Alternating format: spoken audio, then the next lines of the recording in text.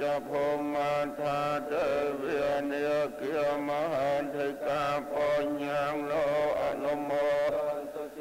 พราคันโดเนียตยาวอากาสัทธา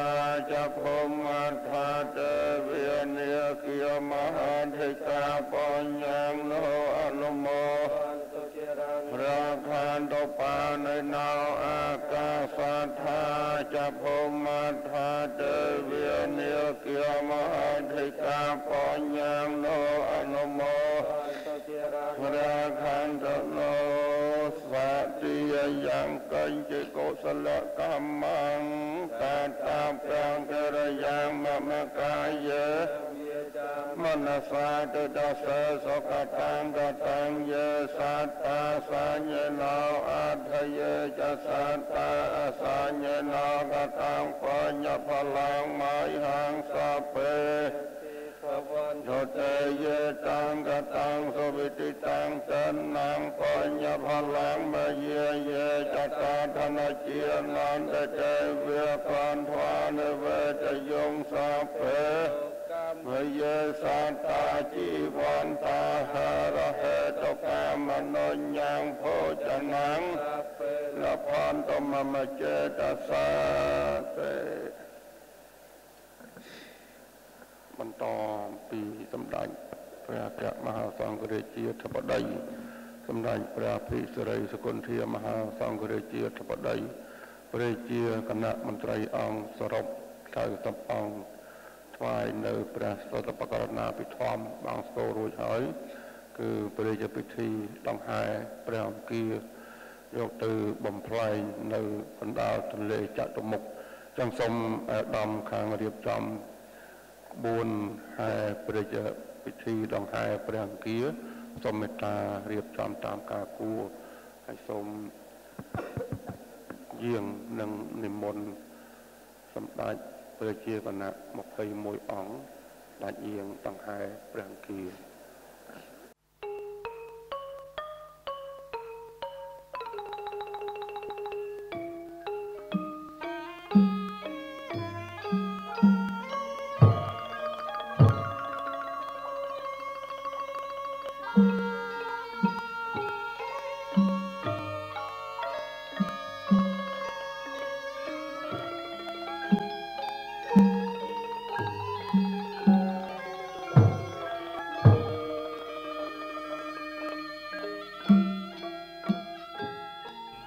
ទូរទស្សនិកជនជាទីគោរពនៅពេលនេះពិធីដង្ហែ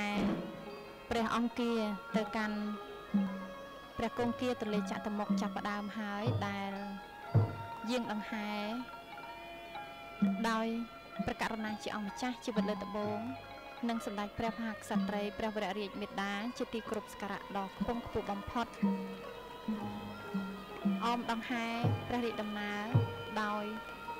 សម្ដេច អគ្គមហាពញាចក្រីហេងសំរិនប្រធានព្រឹទ្ធសភានៃព្រះប្រធានរដ្ឋសភានៃព្រះរាជាណាចក្រកម្ពុជាសម្ដេចអគ្គមហាសេនាបតីតេជោនាយករដ្ឋមន្ត្រី និងលោកជំទាវកតេប្របណ្ឌិតអាយដាមសាឈុំអនុប្រធានទី1ព្រឹទ្ធសភាតំណាងសម្ដេចអគ្គមហាធម្មពុទ្ធិសានជាស៊ីមប្រធានព្រឹទ្ធសភាអាយដាមទេពងនអនុប្រធានទី2ព្រឹទ្ធសភាអាយដាមជាអបអធិរដ្ឋមន្ត្រីរដ្ឋមន្ត្រី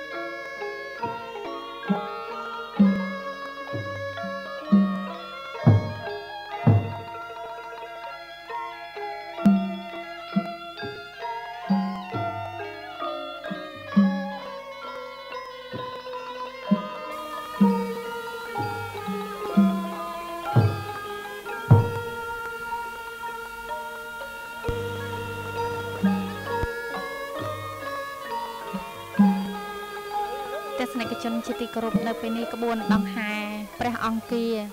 បានបត់មកតាមផ្លូវ178ឬក៏វិថីព្រះអង្គម្ចាស់មគ្គវ័នដើម្បីធ្វើដំណើរបត់ទៅតាមវិថីព្រះស៊ីសវ័តត្រឡប់ទៅព្រះអង្គដងកើយើងឃើញថានៅ ក្នុងក្បួនដង្ហែពីក្រោយ ក្រុមបាគូផ្លុំសាំងនេះ គឺមាន សម្ដេចរាជាគណៈ21អង្គនិមន្តដង្ហែនៅក្នុងព្រះរាជពិធីដង្ហែព្រះបរមអង្គានេះផងដែរនៅពេលនេះទូរទស្សនិកជនកំពុងតែទស្សនានៅរូបភាពនៅតាមដងទន្លេចតុមុខដែលលោកអ្នកបានឃើញនៅព្រះទីនាំងដង្ហែជាសាឡង់ដែលបានតបតែងជារូបនាគហើយរូបនាគនេះត្រូវបានតបតែងនៅលើ ទីនាំងដង្ហែក្បួនព្រះបរមសពក៏ដូចជាទីនាំងផ្សេងផ្សេងទៀតដែលបានប្រើប្រាស់នៅក្នុងព្រះរាជពិធីថ្វាយព្រះបរមសពប្រកាសណាព្រះមហាវីរក្សត្រតាមទំនៀមទម្លាប់ខ្មែរដែលបានឲ្យដឹង តាមព្រឹទ្ធាចារ្យឲ្យដឹងថានាគគឺជាសត្វមួយដែលត្រូវបាន មកយកមកប្រើនឹងជាទីសក្ការៈនៃពូជអម្បូរខ្មែរដោយសារពូជខ្មែរកើតមកពីនាគតួយ៉ាងដូចជាព្រះទីនាំងបុស្បុកតម្កល់ព្រះមញ្ជុសានៅក្នុងថ្ងៃដែលដង្ហែព្រះបរមសពប្រកាសណាព្រះមហាវីរក្សត្រចេញទាំងដើម្បីមកតម្កល់នៅវាលប្រមេននៅក្នុងប្រមេនដើម្បីធ្វើពិធីថ្វាយព្រះភ្លើងនោះ យើងសង្កេតឃើញទីនាងបោះស្បុកតម្កល់ព្រះមញ្ជុសាគឺមានការតុបតែងនៅក្បាលនាគរាជចំនួន36ដែលតាមការឲ្យដឹងពីព្រឹទ្ធាចារ្យឲ្យដឹងថា36គឺលេខ3បូកនឹង6គឺស្មើនឹង9ហើយដែលលេខ9នេះគឺជាលេខខ្ពស់នៅក្នុងជីវិតមនុស្ស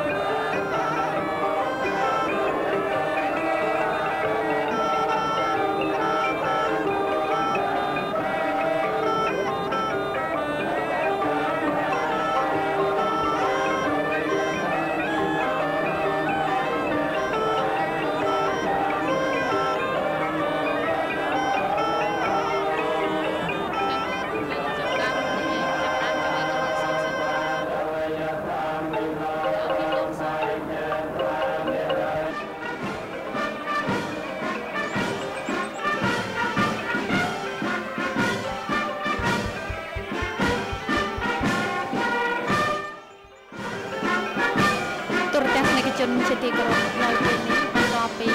យាងថ្វាយព្រះរាជដំណើរយាងបំផ្លែងនៅព្រះ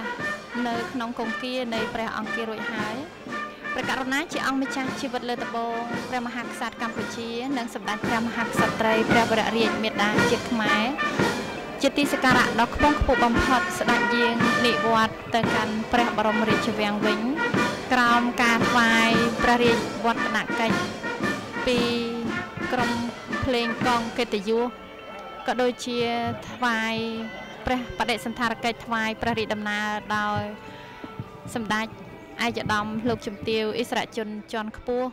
រដ្ឋសភាព្រឹទ្ធសភារាជរដ្ឋាភិបាលនៅក្នុងការថ្វាយព្រះរាជវឌ្ឍនកិច្ចថ្វាយព្រះអង្គ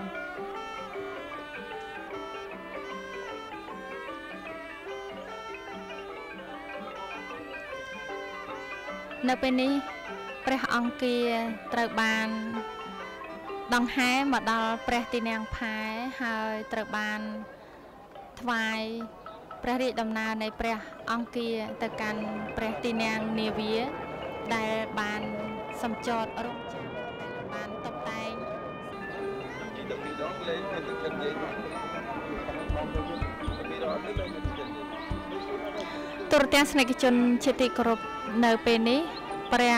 អង្គាត្រូវបានតម្កល់លើព្រះបញ្ចា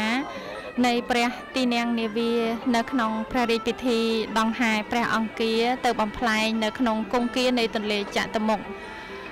ដង្ហែព្រះអង្គានេះគឺមានព្រះរាជតំណាង ព្រះមហាក្សត្រដោយសម្ដេចព្រះបរមរាមានរោត្តមយុវនាថឧត្តមប្រឹក្សាផ្ទាល់ព្រះមហាក្សត្រ ហើយពេលនេះក្បួនដង្ហែក៏ចាប់ផ្ដើម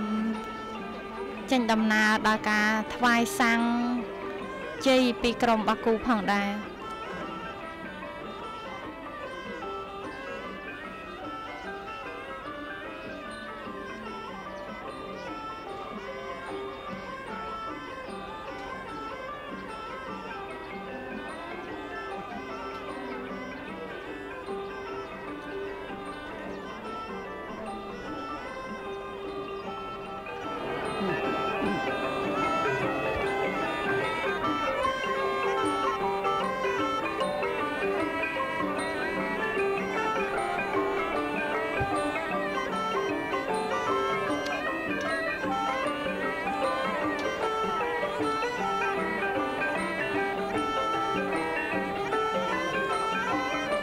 នៅក្នុងព្រះរាជពិធីដង្ហែព្រះអង្គាទៅបំផ្លាញក្នុងគង្គានៃទន្លេចតុមុខនេះក៏មានការយាងពីស្ដេចក្សត្រីក៏ដូចជាអញ្ជើញពីជំទាវខុនណាង ព្រះញាតិវង្សសន្នវង្សនៃព្រះមហាក្សត្រហើយក៏មានការយាងដង្ហែដោយស្ដេចក្សត្រាផងដែរនិងក្នុងនោះក៏មានមន្ត្រីរាជការ ហែជាមួយនឹងព្រះរាជពិធីដង្ហែនេះផងដែរយាងដង្ហែដោយព្រះរាជតំណាងព្រះមហាក្សត្រគឺសម្ដេចព្រះបរមរាមានរោត្តមយុវនាថរួមដង្ហែដោយព្រះរាជវង្សសន្នវង្សដែលមានក្សត្រីក្សត្រាជាច្រើនអង្គផងដែរទីនាំងនាវាដែលតម្កល់ព្រះអង្គានៅក្នុងព្រះរាជពិធីដង្ហែនេះគឺបាន តុបតែងរចនាយ៉ាងល្អត្រចះត្រចង់ដែលមានរូបនាគបញ្ចេញនៅរដ្ឋបារមីហើយដែលតាមការឲ្យដឹងពីព្រឹទ្ធាចារ្យគឺរូបនាគនេះគឺតែងតែបានតុបតែងនៅលើវត្ថុប្រើប្រាស់ផ្សេងផ្សេងៗរបស់ប្រជាជនខ្មែរតាំងពីសម័យបុរាណកាលមកដោយសារតែតាមប្រវត្តិសាស្ត្រពូជអម្បូរខ្មែរកើតចេញពីនាគ ដោយដែលនាងខ្ញុំបានជម្រាបជូនថាលេខ9ត្រូវបានយកមកប្រើប្រាស់ថ្វាយព្រះរាជពិធីដង្ហែព្រះបរមសពក៏ដូចជាព្រះរាជពិធីថ្វាយព្រះភ្លើង និងព្រះរាជពិធីដង្ហែព្រះអង្គាគឺលេខ9គឺជាលេខខ្ពស់នៅក្នុងជីវិតមនុស្សហើយដោយដែលមុននេះនាងខ្ញុំបានជម្រាបជូនអំពី ទីនាងបុស្បុកតម្កល់ព្រះមញ្ជសានៅក្នុងព្រះរាជពិធីដង្ហែព្រះបរមសពចេញពីព្រះបរមរាជវាំងមកកាន់វាលប្រមេនគឺមានការតុបតែងជានាគរាជក្បាល36ហើយដែលលេខ36នេះគឺ3បូក6ស្មើនឹង9ហើយនៅក្នុងនេះអំបូរខ្មែរត្រូវបានប្រើប្រាស់ជារូបនាគទៅតាមអឺចំនួនក្បាលផងដែរ ដែលនាគក្បាលមួយ គឺតំណាងឲ្យរបបមេដាធិបតេយ្យនាគក្បាល3តំណាងឲ្យចំណង3ប្រការនាគក្បាល5គឺតំណាងឲ្យវិញ្ញាណទាំង5របស់មនុស្សនាគក្បាល7គឺតំណាងឲ្យថ្ងៃទាំង7នាគក្បាល9គឺតំណាងឲ្យលោកកតរធរគឺមគ្គ4ផល4និងនិព្វាន1 ដែលនិព្វាននេះមនុស្សគ្រប់រូបក្នុងព្រះពុទ្ធសាសនាតែងធ្វើបុណ្យជាកុសលដើម្បី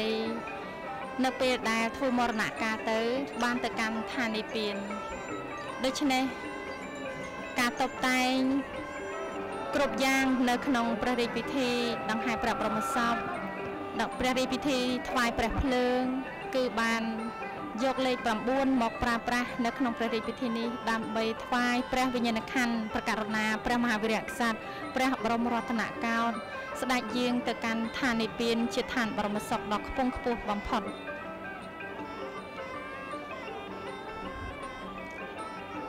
តាមជំនឿក្នុងព្រះពុទ្ធសាសនានៃប្រពៃណីទំនៀមទម្លាប់របស់ជាតិខ្មែរការដង្ហែព្រះអង្គាឬក៏ផេះដើម្បី បំផ្លែងនៅក្នុងគង្គានៃទន្លេចតុមុខនេះ គឺដើម្បីឲ្យផ្ដល់នៅសេចក្តីត្រជាក់ត្រជុំសុខសប្បាយចម្រុងចម្រើន ដល់ជីវភាពរស់នៅរបស់កូនចៅដែលកំពុងរស់នៅ ជាពិសេសនៅក្នុងរបរកសិកម្មដែលប្រជាពលរដ្ឋកម្ពុជា 85%ជាកសិករហើយត្រូវបានប្រើប្រាស់ទឹកគឺជាវត្ថុសំខាន់បំផុត នៅក្នុងការបង្កបង្កើនផលដំណាំចំការក៏ដូចជាដំណាំស្រូវជាពិសេសជីវភាពរស់នៅ ដែលអាស្រ័យទៅនឹងទឹក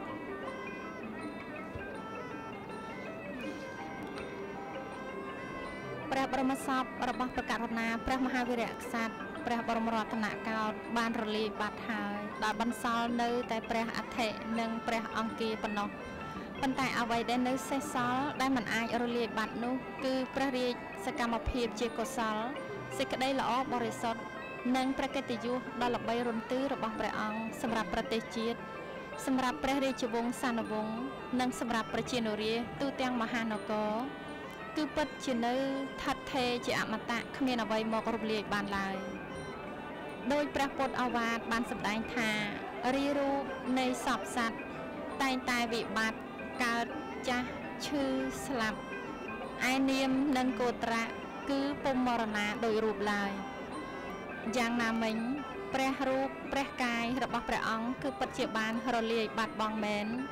ប៉ុន្តែអ្វីអ្វីដែលជាព្រះគុណធម៌ព្រះកិត្តិនាមល្បីរន្ទឺព្រះកិត្តិយសនិងស្នាព្រះហស្ថរបស់ព្រះអង្គ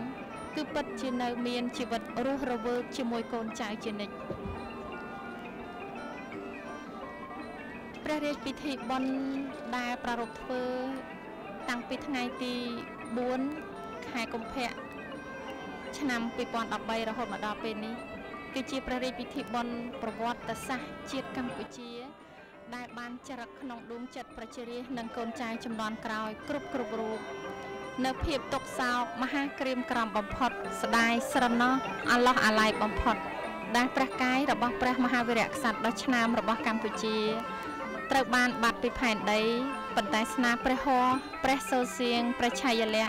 ហាក់ផ្ដល់នូវភាពកក់ក្ដៅនិងកម្លាំងដ៏ពុះពោដល់ប្រជារាស្ត្រកូនចៅចៅទួតរបស់ព្រះអង្គឲ្យចេះស្រឡាញ់សាមគ្គីរួបរวมគ្នាជាធ្លុងមួយ នៅក្នុងការកសាងប្រទេសជាតិ ថែរក្សាវប្បធម៌ប្រពៃណីដ៏ល្អផូរផង់និងរុងរឿងជាអមតៈតទៅ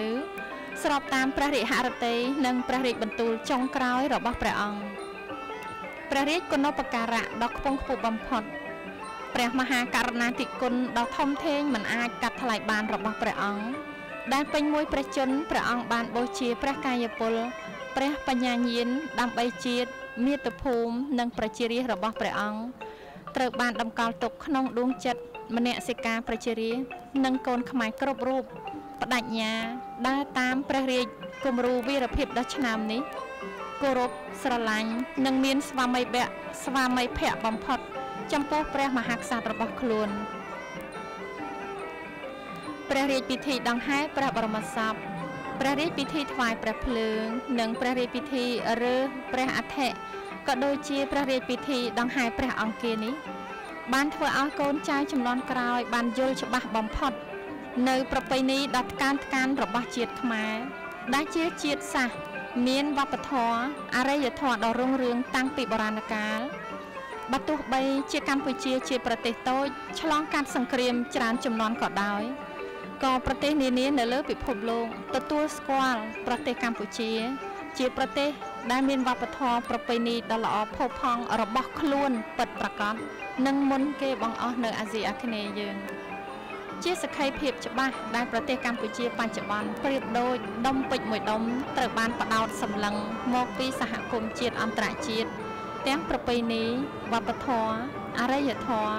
ទេសចរប្រវត្តិសាស្ត្រប្រាង្គប្រាសាទដ៏ល្បីល្បីនិងមានវ័យចំនិងមានវ័យចំណាស់ដែលបន្សល់ទុកសម្រាប់កូនចៅចំនួនក្រោយនោះ ជាពិសេសគឺសុខសន្តិភាពស្ថិរភាពនយោបាយសេដ្ឋកិច្ចសង្គមធ្វើឲ្យភ្ញៀវបរទេសជាពិសេសវិនិយោគិនមកបណ្ដាក់ទុនវិនិយោគនៅកម្ពុជាកាន់តែច្រើន មានការចាប់អារម្មណ៍ខ្ពស់ចំពោះសក្តានុពលសេដ្ឋកិច្ចនៃប្រទេសកម្ពុជា